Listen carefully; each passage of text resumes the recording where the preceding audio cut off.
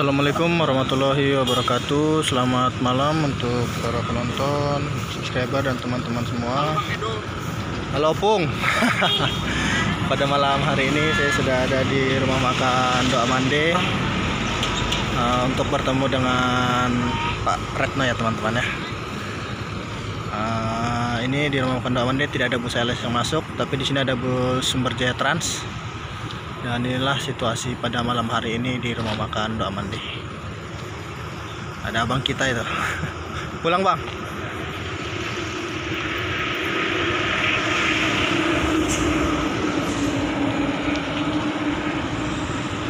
Nah, nanti kita ngobrol ya dengan Pak Retno ya teman-teman ya menanyakan kabar tentunya dan bagaimana perkembangan dari bus LS 081 uh, untuk teman-teman ikuti terus video saya teman-teman ya.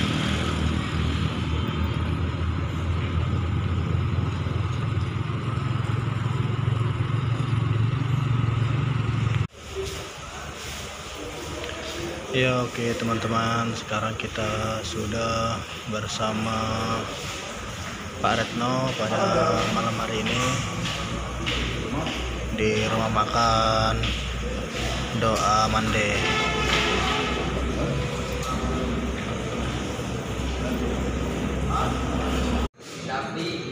Ya masih bersama Wak Retno ya di sini ya. Sehat Wak? Alhamdulillah. Ya, udah udah mandi Wak? Udah sholat juga tadi ya? Ya. Sholat tadi bareng sama ya.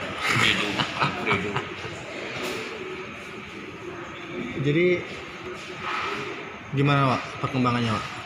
Masih sama ya kayak kemarin ya, masih nunggu ya perdamaian. perdamaian. Jadi apa kan kemarin video yang kemarin itu banyak yang bilang udah Wak nyarap aja dulu daripada nganggur. Jadi bisa dijelasin Wak biar penonton nggak salah paham nih Wak.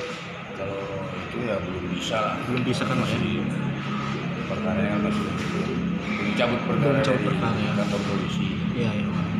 Udah keluar dari kantor polisi kan udah udah udah selesai. Ya selesai. Jadi nunggu BAP dulu cabut berkas perkara baru bisa ya. Tinggal nunggu cabut perkara. Gue ber- perdamaian lah. Ya, dua belah pihak tadi cabut perkara dari kantor polisi.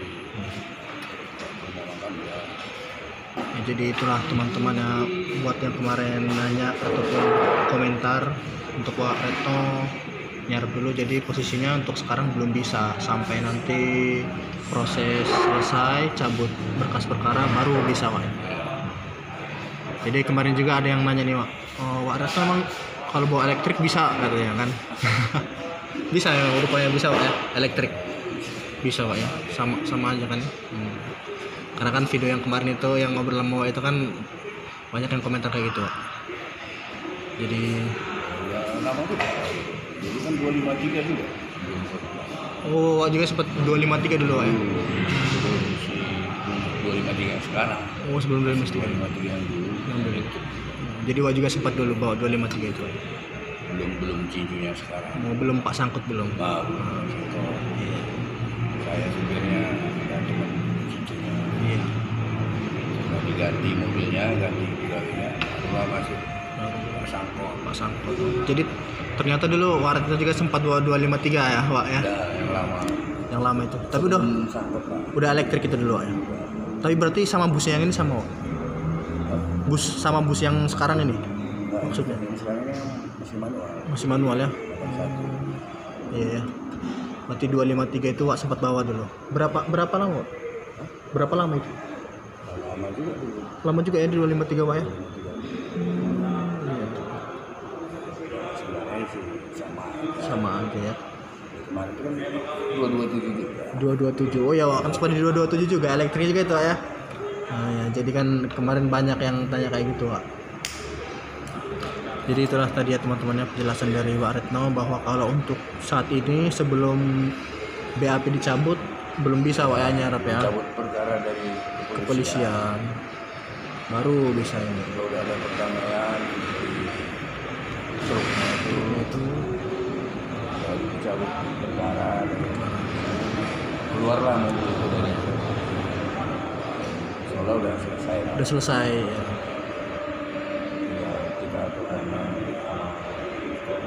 Iya. Ya, kemarin juga penonton teman-teman juga berkomentar ya mudah-mudahan cepat selesai pak ya hmm. doa teman-teman semua buat Pak Retno dan juga kru diberikan kesehatan pak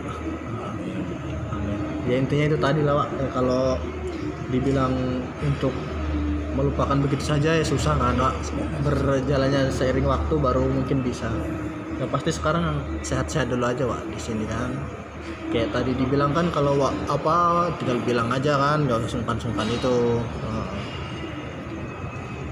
Jadi Wak sering tidur-tiduran di sini Wak?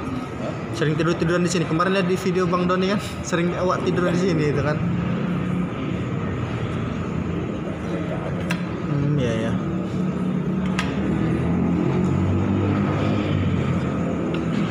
berarti nanti masuk mes jam berapa lah Wak, tidur di mes itu? Lepas sholat isya lah ya? Masuk kamarnya tidur. Subuh bangun lagi nanti kan? Hmm. ya itulah tadi ya teman-teman perkembangan mengenai bisa 181 masih menunggu surat perdamaian antara truk dan juga Bersela 181 dan juga untuk Pak Retno Alhamdulillah masih diberikan kesehatan sehat walafiat di rumah makan Doa Mande ini karena ya kalau emang lapar tinggal makan Wak, ya nggak usah nunggu-nunggu lagi tadi Alhamdulillah kebetulan ya di rumah makan alhamdulillah. Bang Anggoli masih di mes tadi, Pak. Masih di mes ya Bang Anggoli. ya. Inilah Waretno sehari-harinya di rumah makan Doa deh standby di sini, Pak ya. Nanti waktunya tidur baru masuk ke ke mes Pak ya.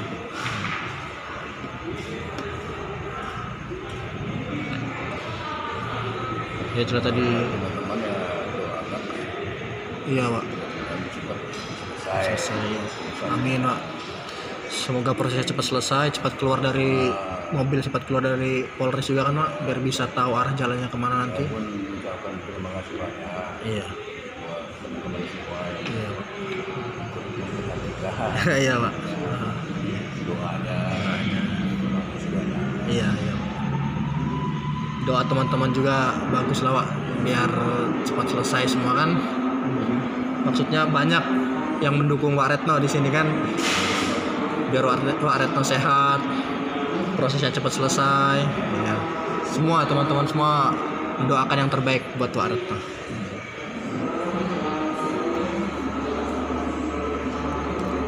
Ya jadi itulah ya teman-teman ya bincang-bincang kita dengan Pak Retno pada malam hari ini. Mungkin besok-besok lagi kita masih bisa ngobrol bareng Wak Retno. Tapi apa nih Wak? Kalau apa saya kan nggak bisa tiap hari ke sini Wak. Nggak bisa nemani Wak tiap hari di sini. Ada yang perhatian itu teman-temannya udah Ah, iya lah teman ngobrol istilahnya Wak, di sini. Nah. Iya iya Wak. jadi kalau ada emang ada sempat waktu ya eh, saya sempatin ke sini Wak ketemu Wak ngobrol sama Wak gitu kan Oke teman-teman eh, mungkin untuk saat ini sekian kita ngobrol dengan Wak Retno masih bisa kita lanjut besok. Eh, terima kasih teman-teman. Makasih Wak Retno ya.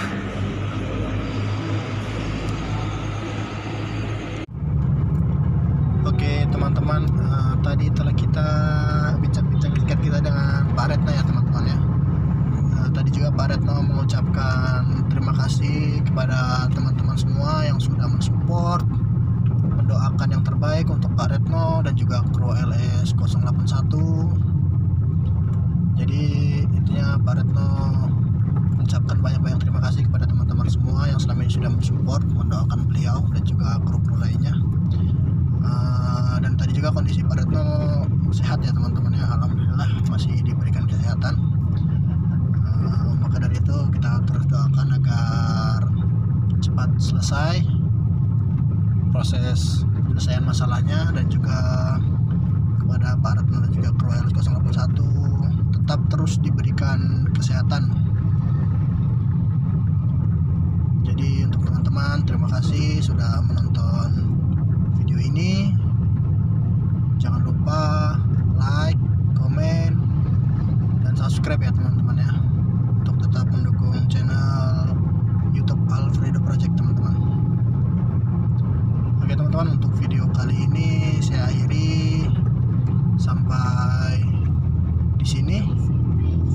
menantikan video-video selanjutnya. Saya akhiri. Wabillahi taufiq walhidayah wassalamualaikum warahmatullahi wabarakatuh. Selamat malam.